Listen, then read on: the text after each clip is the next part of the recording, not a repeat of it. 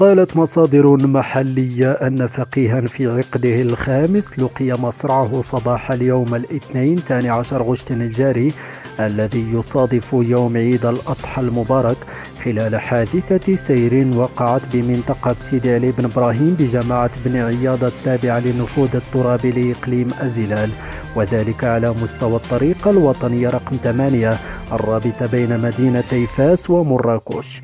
الحادثة وقعت حين فقد الضحية المنحدر من دوار سرمت بجماعة الترابية بانز السيطرة على دراجة صينية الصنع. كان يقودها باتجاه منزله ليسقط جانب الطريق مما تسبب له في جروح بليغة على مستوى الرأس عجلت بوفاته في عين المكان حسب المصادر. هذا وانتقلت إلى مكان الحادث عناصر الدرك الملكي بالمركز الترابي بن عياد من أجل المعاينة فيما تم نقل جثة الهالك إلى مستودع الأموات بالمركز الاستشفائي الجهوي لابن ملال.